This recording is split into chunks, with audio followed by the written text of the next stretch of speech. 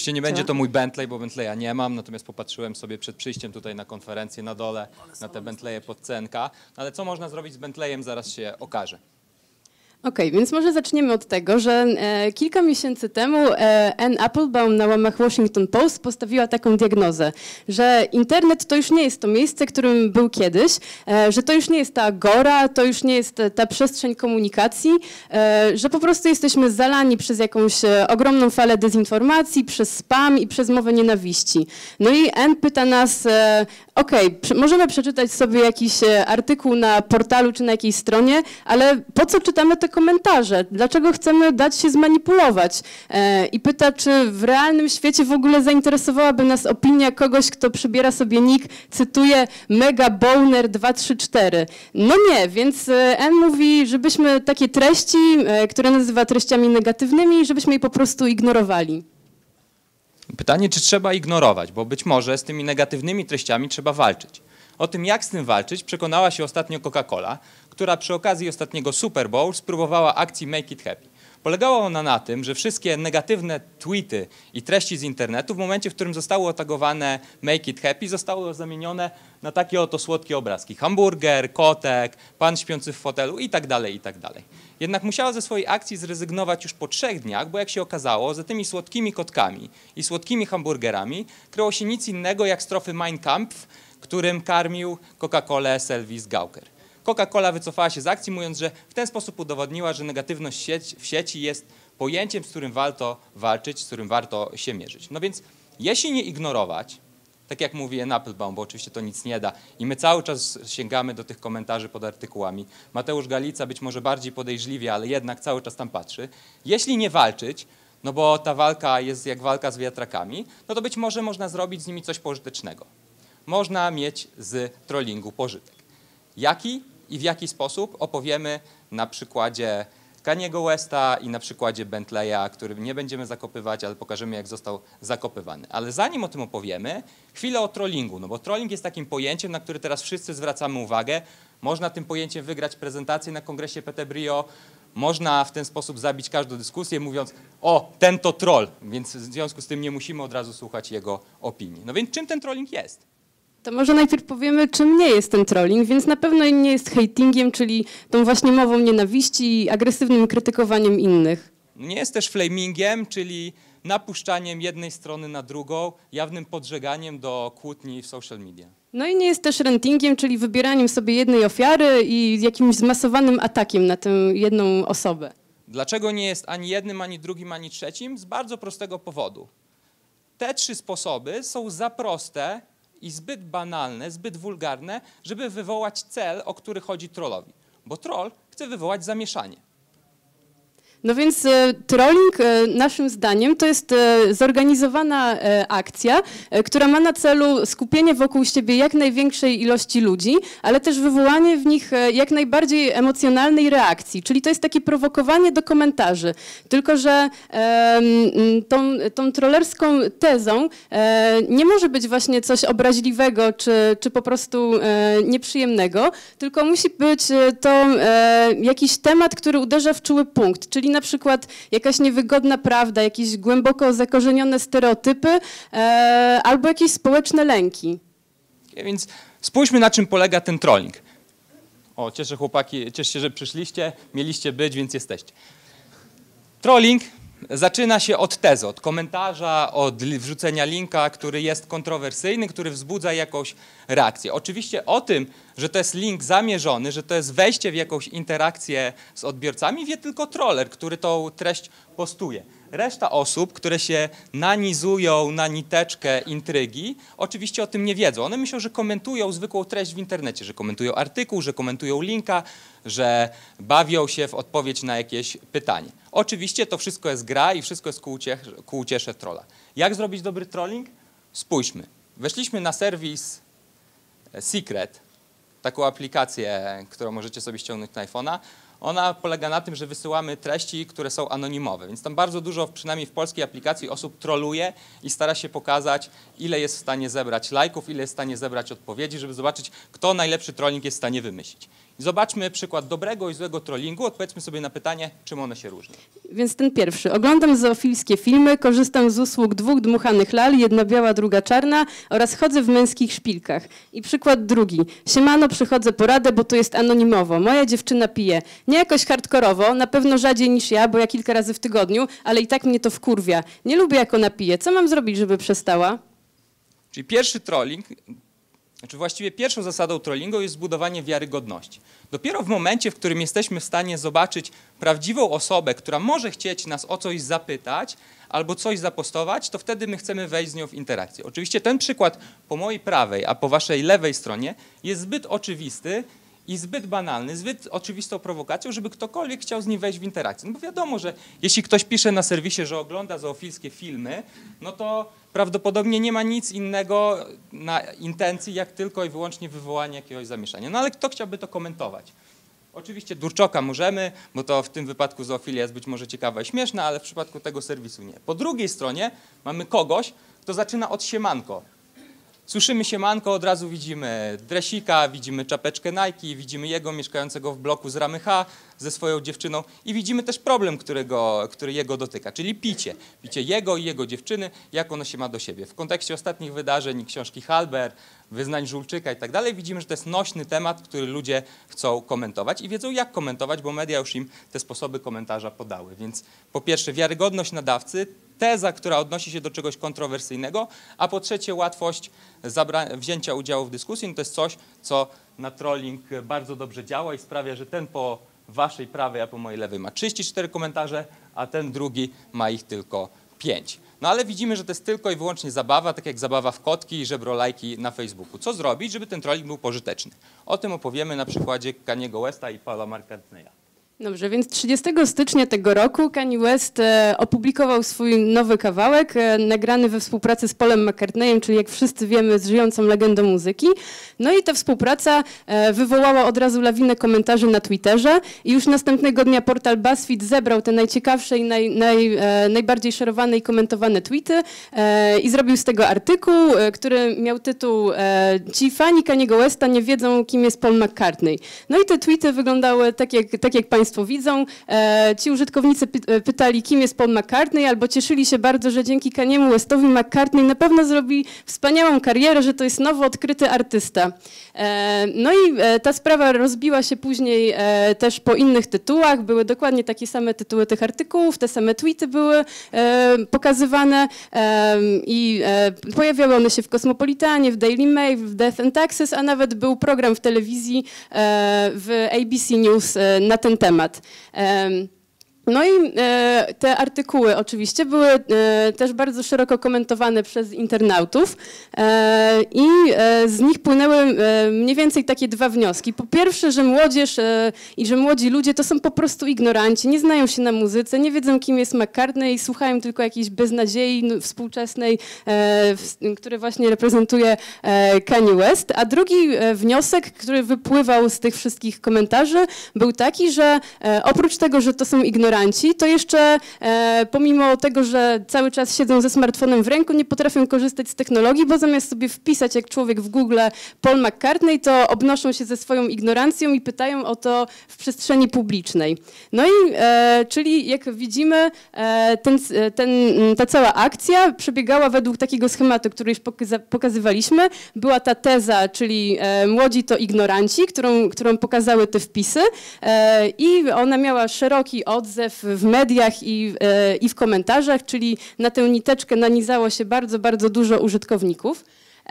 No i e, sprawa zakończyła się by tak, że byłaby po prostu e, takim, taką radosną zabawą tych troli, e, które, które wrzucały te komentarze na Twittera, gdyby nie to, że kilka dni później portal Vice prawidłowo zinterpretował w ogóle całą tę sytuację i pokazał, że tak naprawdę to nie chodziło o to, że młodzi są ignorantami, bo to był oczywisty żart i trolling, tylko to, że to media dały ciała, bo po pierwsze masowo i e, bezkrytycznie kopiowały jakieś informacje z internetu, kopiowały je też od siebie nawzajem. Jak zresztą Państwo widzieli, te tytuły były identyczne, e, wszystkie materiały były te same.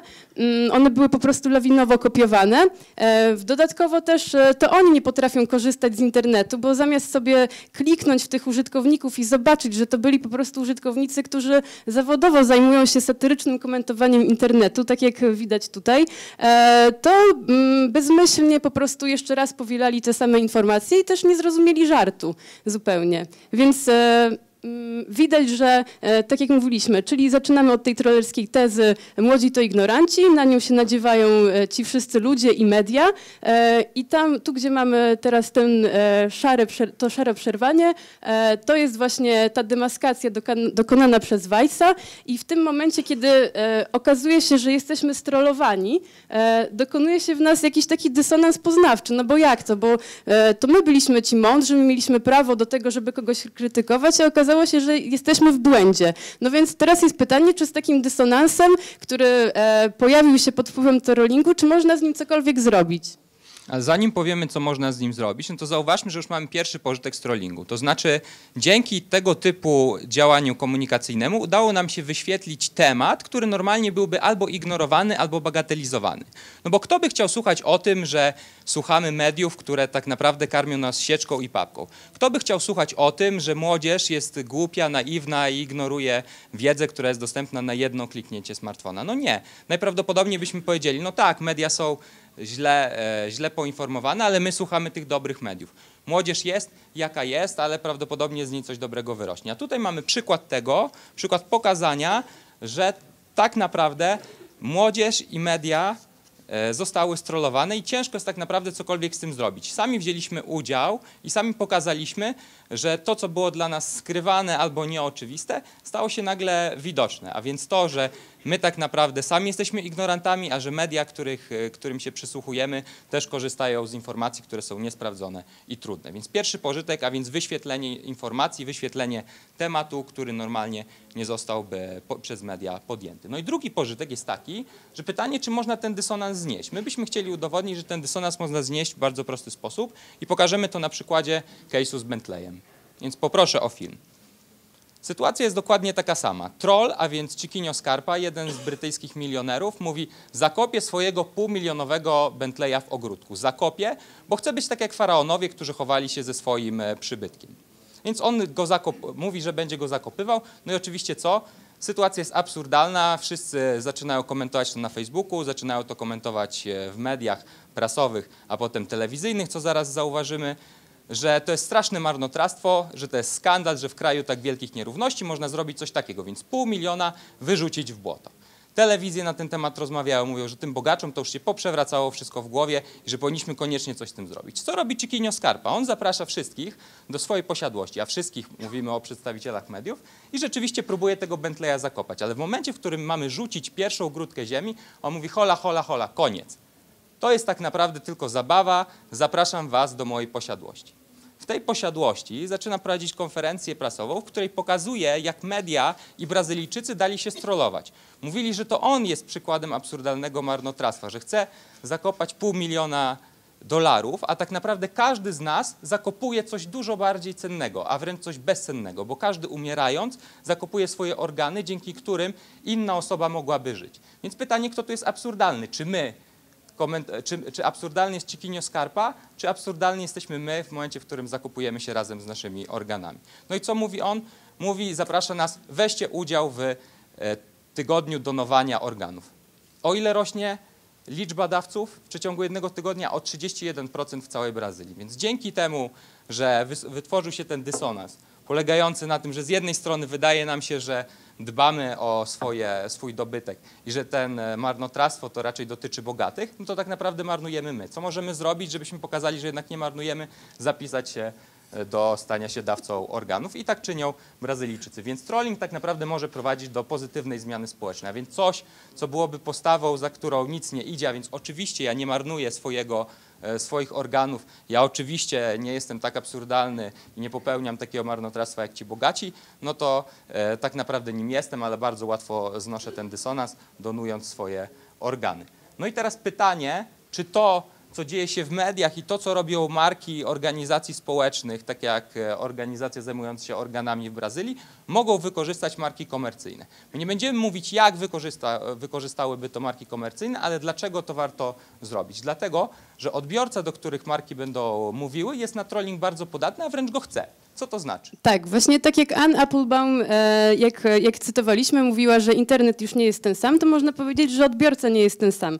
Ponieważ dla pokolenia Y to właśnie ironia jest, e, jest taką naturalną formą komunikacji i okazuje się, że przekazy kierowane przez e, marki nie muszą być wcale oczywiste, dosłowne i bezpieczne, żeby były dla ludzi z tego pokolenia zrozumiałe, a jest wręcz odwrotnie, bo im ten przekaz jest bardziej przewrotny, podchwytliwy i niedosłowny, tym on jest ciekawszy i też skuteczniejszy.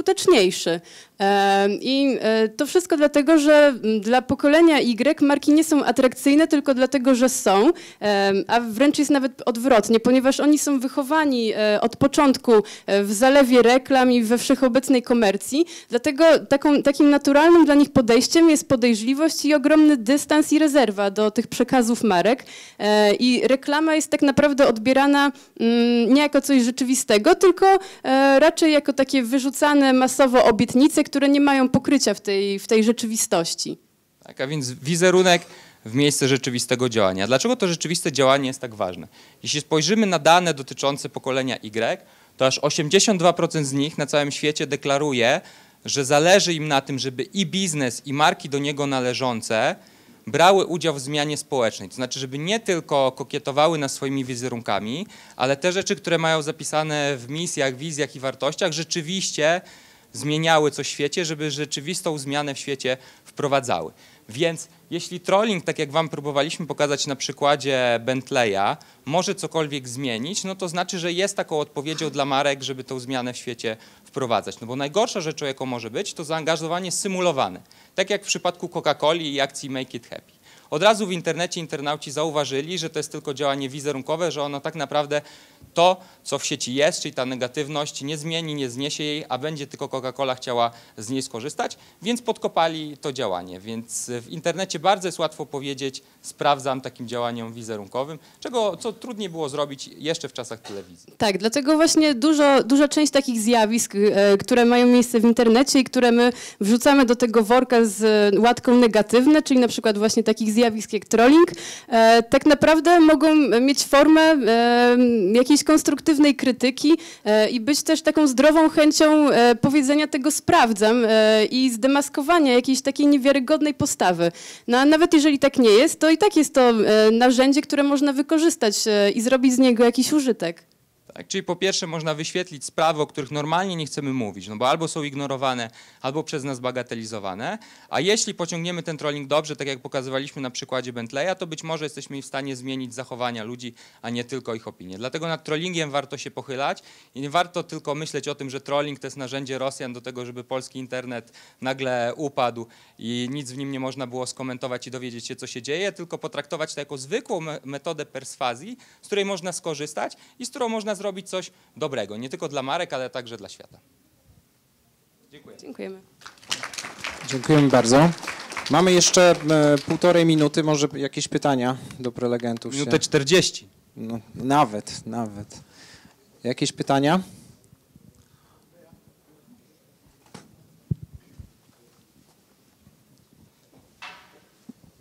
Chciałem zapytać, bo, znaczy tak, chciałem się upewnić, że rozumiem, o tak powiem. Znaczy, bo wy powiedzieliście taką rzecz, że Michał Kociankowski, się nie przedstawiłem. Powiedzieliście taką rzecz, znaczy, jak to tak to zrozumiałem, co powiedzieliście, że jakby trolling czy nie trolling, ale tam jest taki mechanizm, że w sumie wywołuje się najpierw negatywną reakcję na jakiś komunikat, zjawisko czy coś tam, a potem taką metodą szybkiego odwrócenia jakichś biegunów albo perspektywy pokazuje się człowiekowi, że tą negatywną e, e, energię w gruncie rzeczy mógłby też skierować przeciwko sobie, tak? I poniekąd, no to jest taka sytuacja szantażu, nie? Ale taka, e, i pytanie jest takie, czy nie mieliście, bo może po prostu, no nie wiem, uznaliście, że to nie jest dostatecznie udokumentowane albo jakoś tam zabrakło wam, e, zabrakło wam czasu. Czy nie, nie, nie zauważyliście w komunikacji, bo mi się wydaje, że wiecie, że trolling to jest fajny przykład użycia tego mechanizmu, nie? A że ten mechanizm jest szerszy i on się może też jakby udać w jakichś trochę innych dziedzinach, bo, bo to jest trochę taki mechanizm e, rzeczywiście, znaczy bardzo fajne to jest to spostrzeżenie, tak, że najpierw się człowiek wkurza, że coś jest jakieś, a potem mu pokazujemy, zobacz, u ciebie jest bardzo podobnie, tak, tylko w jakiejś, przy małej zmianie kontekstu, czy przy jakiejś znaczącej analogii do twoich zachowań, to właściwie twoja złość jest równie dobrze złością przeciwko tobie. Czy nie, nie mieliście może przynajmniej gdzieś w polu obserwacji jakiegoś bardziej marketingowego przykładu, bo wydaje się, że to powinno dać się użyć i powinno zadziałać. Albo, że może już gdzieś było. Pojawiają się pierwsze przykłady takiego działania. To znaczy, że ten mechanizm jest e, dosyć oczywisty i znany od dawna. Tak? Ten mechanizm e, teraz jest e, traktowany jako przede wszystkim mechanizm trollerski, no bo trolling jest e, takim słowem, które lubimy pod różne rzeczy podczepiać. I oczywiście marki też tak robią.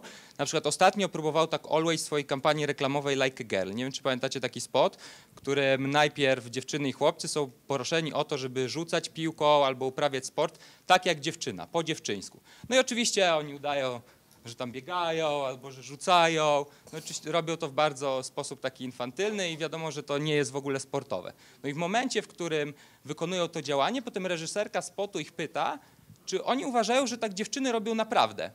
Albo czy znają dziewczyny, które jest- robią inaczej. To jest. y, Tak, i właśnie dziesięcioletnia dziewczynka zostaje zapytana, jak, biega, jak biegają dziewczyny, i ona po prostu sobie biegnie. Więc ci, którzy na początku obśmiewali dziewczyński sposób brania udziału w sporcie, potem pokazują, że rzeczywiście można rzucać, rzucać piłką jak dziewczyna, grać w piłkę jak dziewczyna i biegać jak dziewczyna i wcale to nie znaczy gorzej niż facet, nie znaczy, że w sposób infantylny i głupi, tylko że w sposób specyficzny dla kobiety. Więc ten mechanizm, o którym my mówimy, też jest stosowany w reklamie.